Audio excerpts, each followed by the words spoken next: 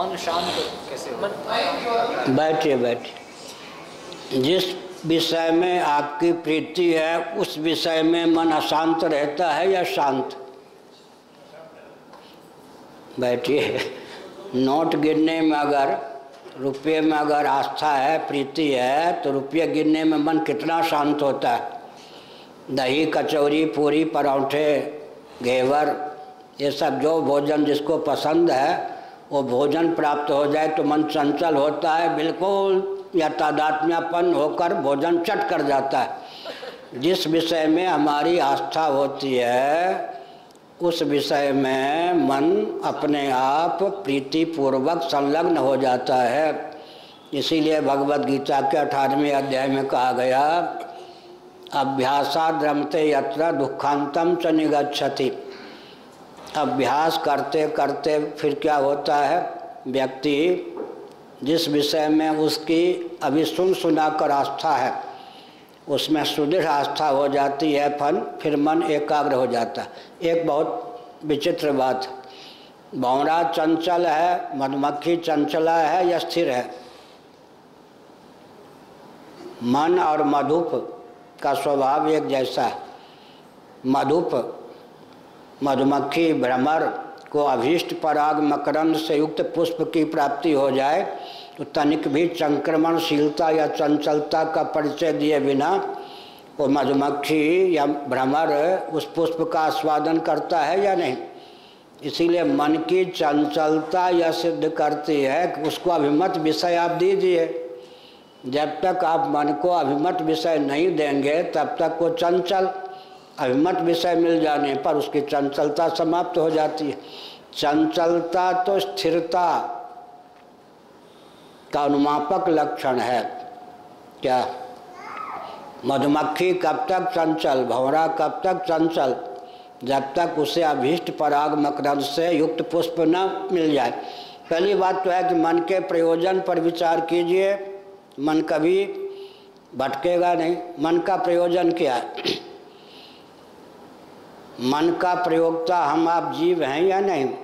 तो मन के साथ हमारे कम से कम कितने संबंध हैं? तीन संबंध। मन के साथ अपना संबंध निर्धारित कीजिए। मन हमारा सेवक है, हम स्वामी हैं। मन हमारा सखा है, मन बालक सखा है, हम पालक सखा है। मन हमारा शिष्य है, हम गुरु हैं। पहले तो मन के साथ संबंध जो है, उसको समझिए। फिर प्रयोजन जो जीव का है, हमारा आपका असली प्रयोजन है, उस प्रयोजन की सिद्धि के लिए मन कब से हमारे साथ है? अनादिकाल से। फिर से सुनिए। जीव के जीवन का जो प्रयोजन है, उस प्रयोजन की सिद्धि के लिए ही मन जीव के साथ अनादिकाल से है। महाप्रलय की अवधि इकतीस दिन, दस खरब, चालीस अरब वर्षों की होती है। लेकिन महाप्रलय के बाद यथा पूर्व कल्पयत जिस जीव का जो मन होता है, भगवान के संकल्प से उस जीव को वही अपना पुराना मन फिर प्राप्त हो जाता है। शरीर छूट जाता है, पत्नी साथ नहीं दे सकती। पिता पितामह साथ नहीं दे सकते। ऊपर परमात्मा और नीचे मन, दो ही हमारा साथी रह जाता। स्वर्ग जाए या नरक? नरक में भगवान होते या नहीं? नरक में जब आकाश होता है तो भगवान नहीं होते क्या? दो ही हमारा साथ देने वाले हैं, और तो सगे संबंधी छूट जाते शरीर भी छूट जाता है। एक दिन ऐसा होएगा को काहू को नाही, घर की नारी को कहे, तन की नारी जाए। लेकिन उस समय कौन साथ देता है? ऊपर, भगवान, नीचे, मन? ठीक है तो मन कब तक साथ नहीं छोड़ेगा? जब तक हम जीव अपने जीवन के प्रयोजन की पूर्ति के लिए मन का उपयोग नहीं करेंगे। मन का प्रयोजन दो है, भोग और अपवर्ग।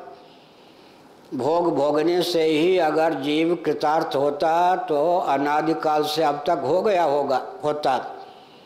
इसीलिए भोग्य पदार्थ चाहे स्वर्ग के हों, चाहे मृत्यु लोक के, उनमें यह क्षमता नहीं है कि जीव को सदा के लिए संतृप्त कर सकें, क्योंकि भोग्य के भाग पर, भाल पर क्या लिखा है? असच्चिदानंद।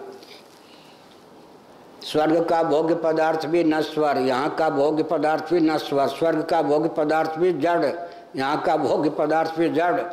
अंत में स्वर्ग का भोग्य पदार्थ भी वियोग की दशा में दुखप्रद, यहाँ का अनुकूल विषय भी अंत में दुखप्रद। तो जब तक सच्चिदानंद स्वरूप परमात्मा को मन प्राप्त नहीं करा देता, तब तक जीव का साथ नहीं छोड़ता है। इसलिए मन का प्रयोजन केवल भोग भोगने से पूर्ण नहीं होता। जीव को अपवर्ग या मोक्ष जब तक न दिला दे, तब तक मन जीव के साथ रहता है। जब जीव मुक्त हो जाता है तो मन का क्या होता है फिर? मन फिर मन को ही कहते हैं चित्त भी। चित्त चार खाने चित्त होकर जो जीव हो जाता है, वही मन भी हो जाता है। परमात्मा होकर चिद्रूप चिदात्मा होकर चिद्रूप आत्मा होकर ही जीव भी शेष रहता है, मन भी शेष रहता है। इसलिए विनय पत्रिका गोस्वामी तुलसीदास जी का ग्रंथ है, हिंदी अनुवाद सहित वह गीता प्रेस से प्रकाशित है। उसमें मन को समझाने की जो विधा है, उस विधा का आलंबन लेने पर मन शांत होता है, चंचलता छोड़ देता है। अब हम तो आज भी पाँच सात पाँच घंटे तो कम से कम रोज ही लिख पढ़ लेते हैं। औसतन पाँच घंटे तो मन तो कभी नहीं कहता कि मत पढ़ो। उसको आ, क्या रसिक बन गया है मन हमारा। बल्कि कोई अनावश्यक बात करने लगे या कोई अतिरिक्त काम आ जाए तो मन कहता वो काम। मन तो साथ दे रहा है हमारा कभी नहीं कहता कि पढ़ने लिखने से मना करता हो ऐसा नहीं। तो मन को ढाला है ना बचपन से। इसलिए मन को ढालिए तो मन से बढ़िया साथी कौन होगा? और कोई प्रश्न?